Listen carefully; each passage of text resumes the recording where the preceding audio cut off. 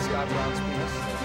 Time now for one of the most popular features on our program, our weekly movie review. And the new film, Extraordinary Measures, opens tomorrow at the box office nationwide. None of us have seen the film, but uh, we've all seen the poster, and I believe one of us has seen the trailer. Uh, let's start with you, uh, Linda Buckman Terry. What's your review of Extraordinary Measures? You know, I'm someone I like a romantic comedy. I love to laugh. Mm-hmm. I love to dream. Uh, this movie, you know, based on what I'm seeing in the poster, there's a lot of tension in Harrison Ford's right. It doesn't look like a romantic comedy. Body I mean, language. we can't tell, but I, it, it, it makes me anxious, and so I'm gonna say not. Now, so from on a scale of one to four thumbs up, what do you give it? You know, one thumb up or something. One thumb but up like kind of jeering. Yeah.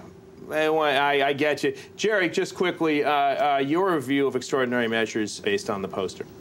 Full disclosure, I did not see the poster, so mm -hmm. I can uh, I can only give it two thumbs up. Right. Norman Ornstein, your thoughts? I'll give the trailer three thumbs up, mm -hmm. uh, mm-hmm. but based on the poster, the movie gets two at most. A any notion what the what the film is about? Well, that's got nothing to do with it. But uh, you know, I'll tell you what makes me most uneasy. When you look at this poster, you got Brendan Fraser there in a suit with mm -hmm. a mm-hmm. really kind of uh, mundane striped tie. Harrison Ford in blue jeans and a jacket. Right. You know, and he, this guy's over 60 years old. I mean, yeah. you know, if you're 25, you wear blue yeah, jeans. Yeah, it's a, that's a that's a warning sign, I yeah. think. So, uh, the, you know, the dress code for both of these guys suggests to me that, that they're miscast.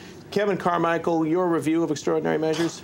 I don't know what planet you guys are on. I loved this poster. Uh, American Treasure, Brendan Fraser, I'll see in anything. The word extraordinary mm -hmm. uh, gives it two for me right away.